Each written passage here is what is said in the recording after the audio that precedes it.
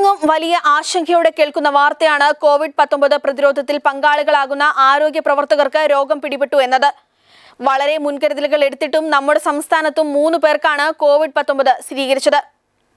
Kottayam medical കോളേജിൽ ചികിത്സയിലായിരുന്ന staff nurse Reshma Mohandas April മൂന്നിന് ആശുപത്രി വിട്ടിരുന്നു.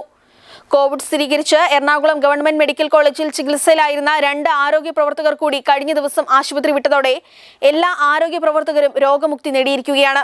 Junior health ഇൻസ്പെക്ടർമാരായ J Santhosh Kumar K K Aneesh എന്നിവരാണ് രോഗമുക്തി നേടിയത്. ആരോഗ്യവകുപ്പ് മന്ത്രി കെ കെ ശൈലജ ടീച്ചർ ഇവരെ വിളിച്ച് ആരോഗ്യ മേഖലയ്ക്ക് ചെയ്യുന്ന ആത്മാർത്ഥ സേവനത്തിന് അഭിനന്ദനം അറിയിച്ചു. ഇവരെ പോലെയുള്ള ആരോഗ്യ പ്രവർത്തകരാണ് ആരോഗ്യവകുപ്പിന്റെ ഊർജമെന്നും മന്ത്രി കൂട്ടിച്ചേർത്തു. എറണാകുളം ചൊവ്വര കുടുംബാരോഗ്യ കേന്ദ്രത്തിലെയും കോടനാട് കുടുംബാരോഗ്യ കേന്ദ്രത്തിലെയും ജൂനിയർ ഹെൽത്ത് ഇൻസ്പെക്ടർമാരാണ് ഇരുവരും. നെടുമ്പാശ്ശേരി അന്താരാഷ്ട്ര എയർപോർട്ടിൽ മാർച്ച് പത്തൊമ്പതിനും ഇരുപത്തിയൊന്നിനും ഇവർക്ക് ഡ്യൂട്ടി ഉണ്ടായിരുന്നു. എയർപോർട്ട് ആയതിനാൽ വ്യക്തിഗത സുരക്ഷാ മാർഗങ്ങളിൽ വളരെയേറെ ശ്രദ്ധിക്കുകയും ചെയ്തിരുന്നു. എൻ നയന്റി ഫൈവ് മാസ്കും അതിനുമീതെ സർജിക്കൽ മാസ്കും ഗ്ലൗസും ധരിച്ചാണ് യാത്രക്കാരെ പരിശോധിച്ചത്. മാർച്ച് ഇരുപത്തിമൂന്നിന് സന്തോഷ് കുമാറിന് ചെറുതായി പനി തുടങ്ങി. ഉടൻ താമസ സ്ഥലമായ കാലടിയിലെ ക്വാർട്ടേഴ്സിൽ നിരീക്ഷണത്തിലുമാക്കി. മറ്റ് രോഗലക്ഷണങ്ങൾ കണ്ടതോടെ ഇരുപത്തിയെട്ടിന് സാമ്പിളുകൾ എടുത്ത് പരിശോധനയ്ക്ക് അയച്ചു.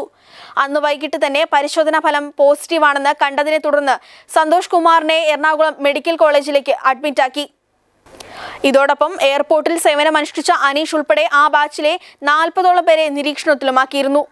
പാറശാല സ്വദേശിയായ സന്തോഷ് കുമാർ ആശുപത്രിയിൽ കഴിയുമ്പോൾ വലിയ വിഷമത്തിലായിരുന്നു. അമ്മയും ഭാര്യയും ഒൻപത് നാല് വയസ്സുള്ള രണ്ട് കുട്ടികളുമായിരുന്നു പാറശാലയിലെ വീട്ടിലുള്ളത്. ദിവസവും വീട്ടുകാരുമായും മക്കളുമായും വീഡിയോ കോൾ വഴി സംസാരിക്കുമ്പോഴും അവരെ വിഷമിപ്പിക്കേണ്ടെന്ന് കരുതി കോവിഡ് സ്ഥിരീകരിച്ച കാര്യം പറഞ്ഞിരുന്നില്ല. ഐസൊലേഷനിൽ നിരീക്ഷണത്തിലാണെന്ന് മാത്രമാണ് പറഞ്ഞിരുന്നത്. ഇത് പുറത്തു പറയരുതെന്ന് ഡോക്ടർമാരോടും അറിയിച്ചിരുന്നു. ഇതിനിടെ സന്തോഷ് കുമാറിന് ന്യൂമോണിയയും ചെറിയ ചുമയും ഉണ്ടായിരുന്നു.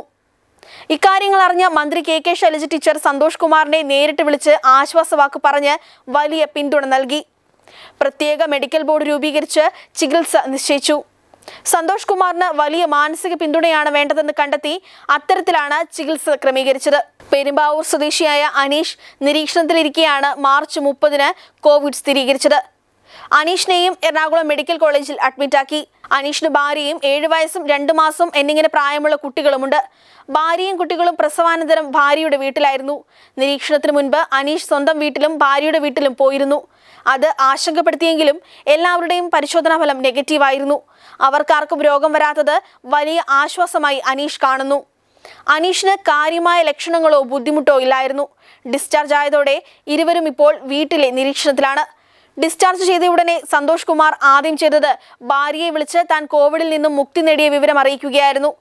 അതേസമയം കൊറോണ പ്രതിരോധത്തിൽ നിന്നും ഒരൽപ്പം പോലും പുറകോട്ട് പോകില്ലെന്നാണ് ഇരുവരും പറയുന്നത്. രോഗപ്രതിരോധത്തിന് മുന്നിൽ നിൽക്കുന്നവരാണ് തങ്ങൾ. ആരോഗ്യവകുപ്പ് വലിയ പിന്തുണയാണ് നൽകിയതും. ആവശ്യമായ മുൻകരുതലുകൾ എല്ലാവരും സ്വീകരിക്കണം. ആരോഗ്യവകുപ്പ് നൽകുന്ന നിർദ്ദേശങ്ങൾ എല്ലാവരും പാലിച്ചാൽ എത്രയും വേഗം അതിജീവിക്കാനാകുമെന്നും ഇവർ വ്യക്തമാക്കുന്നു.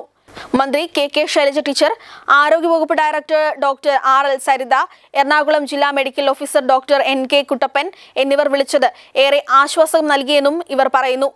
ചികിത്സയ്ക്ക് നേതൃത്വം നൽകിയ Ernakulam medical college principal doctor Thomas Mathew superintendent in charge doctor Geetha Nair R M O doctor Ganesh Mohan corona nodal officer doctor Fathahuddin എന്നിവരോട് നന്ദി പറയുന്നതായും സന്തോഷ് കുമാറും അനീഷും കൂട്ടിച്ചേർത്തു. Web desk Kairali news.